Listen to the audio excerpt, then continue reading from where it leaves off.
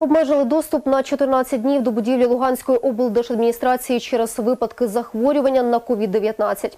Про це повідомили на офіційному сайті адміністрації. Також заборонили проводити масові заходи, наради та засідання.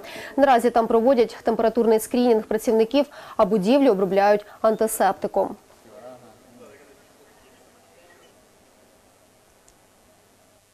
Телефоном заступник директора Луганського обласного лабораторного центру Володимир Жданов розповів, що з цієї будівлі з підозрою на коронавірус госпіталізували двох працівників.